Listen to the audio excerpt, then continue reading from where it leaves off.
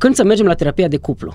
Asta este o întrebare uh, pe care o aud foarte des și cred că e foarte important să răspund la ea în cunoștință de cauză, în cunoștință de cauză fiind uh, uh, legat de faptul că am studiat uh, Institutul Gottman, da, cursurile de la Gottman sunt uh, level 1 și mă pregătesc să fiu level 2 din 3 posibile și acolo explică foarte clar științific și statistic ce se întâmplă cu cuplurile care ajung într-o zi, poate, la terapia de cuplu. Există o foarte mare problemă aici, pe care nimeni nu vede. Și, evident, nici eu n-aș fi văzut dacă n-aș fi știut informația asta, și anume, statistic vorbind, cele mai multe cupluri caută ajutor la terapie de cuplu în anul 6 de relație de cuplu, fie că sunt căsătoriți sau doar în concubinaj, relație de cuplu.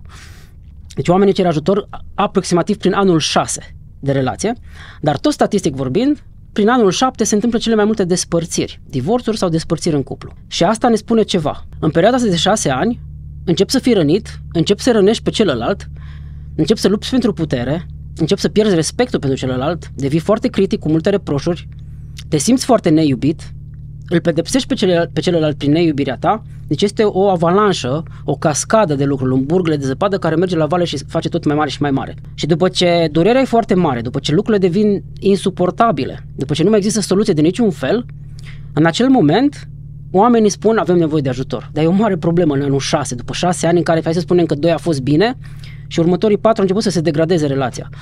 Deci după patru ani, trei ani, patru ani de suferință, conflicte, rănit unul pe celălalt, luptă pentru putere, ego-uri mari, ne băgăm în tranșee, îl demonizăm pe celălalt, cel puțin unul dintre parteneri după șase ani a ieșit din acea relație emoțional și sufletește, nu mai este în acea relație.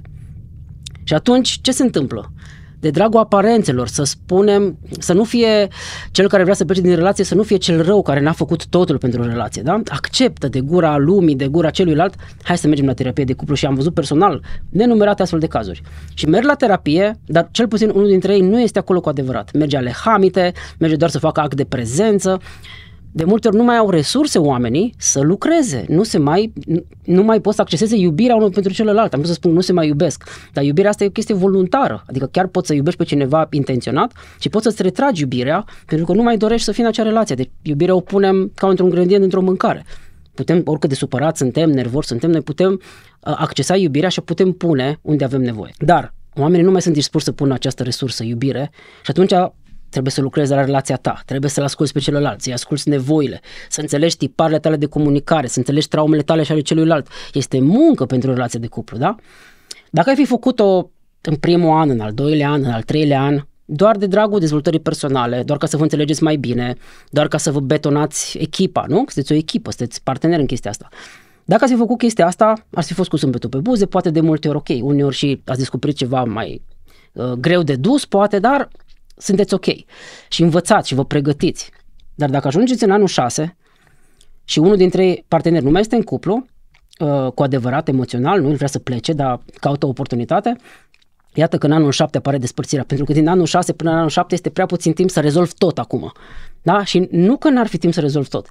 Unul sau amândoi nu mai au resurse, pentru că ai și job, poate ai copii, poate ai lucruri de făcut, evident, nu? Ești ocupat și atunci să, să-ți iei pe umerii tăi în anul după șase ani de relație toată povara asta, hai cum să înțelegem tot, hai să rezolvăm tot, hai să vindecăm tot.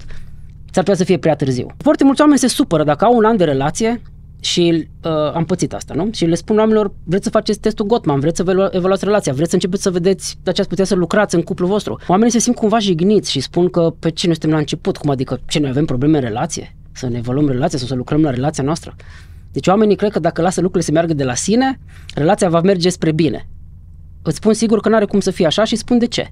Pentru că relațiile, în primul rând, sunt vehicul de vindecare și evoluție. Adică, sigur, veți ajunge la suferință și probleme și vor ieși la suprafață diverse chestii transgeneraționale. Pentru că părinții tăi și bunicii tăi și străbunicii tăi n-au lucrat la relația lor, că n-aveau cu ce și unelte și conștiință pentru asta. Iar bolovanul ăla mare transgenerațional cu toate tiparele ajunge la tine. Privește părinții și bunicii și străbunicii, vezi ce probleme au avut în relațiile și sigur vor fi și la tine. E inevitabil asta până când nu le conștientizezi și începi să lucrezi la ele, da? Deci ăsta e sfatul meu pentru oameni, nu vă lăsați păcăliți, nu vă lăsați orgoliu foarte mare, noi nu avem probleme în relație, că nu lucrezi la relația ta că ai probleme doar, în mod ideal. Lucrezi pentru că ți se pare interesant să-l cunoști pe celălalt, să cunoști dinamica relațională, pentru că vreți să vă amplificați puterea și așa mai departe, vreți să construiți ceva împreună, nu? Gândește-te la o echipă, cum ar fi ca o echipă de orice, din orice sport să spună Păi noi nu ne antrenăm, că noi nu avem probleme. Noi mergem la meci direct, așa, cu deci să ne antrenăm, suntem buni. Nu? Chiar și o echipă campioană, vreau să zic, că noi suntem buni, nu ne mai antrenăm acum, că suntem numărul unu. Ce s-ar întâmpla cu echipa aia? Ar fi locul ultim, probabil, foarte rapid, nu? Cam asta este pentru azi. Scrie te rog, un e-mail la perarond personalitatealfa.com dacă e ceva cu care te pot ajuta legat de relația ta. Mersi mult de tot. Ceau, ceau.